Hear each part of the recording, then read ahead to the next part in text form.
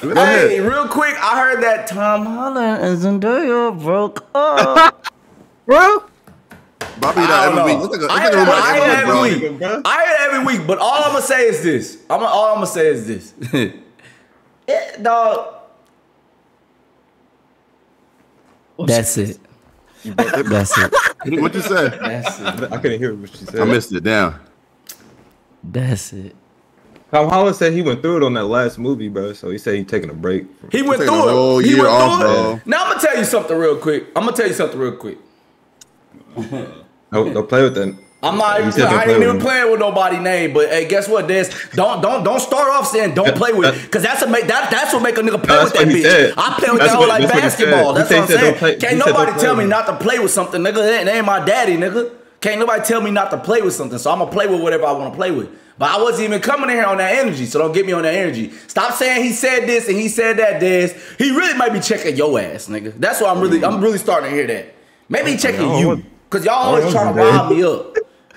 Now I'm trying to look. That man going through something. Him and Zendaya broke up. Shout out Tom, bro. hey, he, he he going through something, man. Just get ready for Spider-Man 4, I guess. I don't want to tell you. Get ready for Spider-Man 4. Shout out to you, bro. I know how it be out here. No matter what, man, I know how it be out here. Let me give you some some words, Tom, some wise words from the monks. Yeah, talk to that nigga, bro. Don't chase, Hmm. attract. A tra- mm, Okay. okay.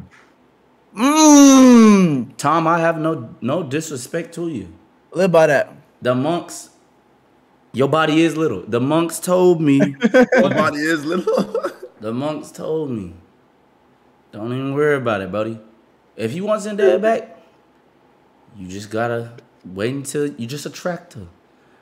But if another nigga walk by and attract her too, I don't make the rules. Nah, Monk said don't say that. My fault, Monks. I am sorry for that extra sentence. I didn't have to fucking say that shit. All right, they say it's a fake tweet. Bro, we know, bro. Stop ruining the fun. Fucking fun sucker, bro. Damn. Ripping, bro. Damn, bro.